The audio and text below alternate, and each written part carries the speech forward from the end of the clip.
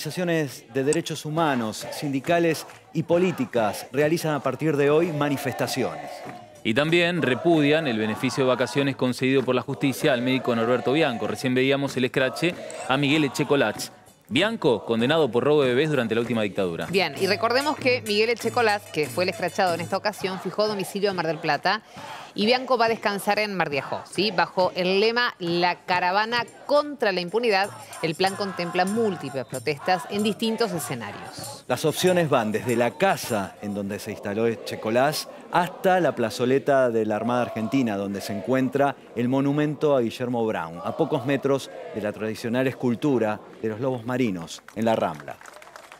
Cada vez la resistencia es mayor la resistencia pacífica, que es lo que tenemos que seguir haciendo, esa lucha por la justicia que hace cuarenta y tantos años venimos adelante, llevando a las madres, abuelas, familiares y tantos otros que realmente tienen memoria, esa justicia legal, jamás por mano propia. Y así seguiremos cada vez tenemos que estar más juntos, más unidos.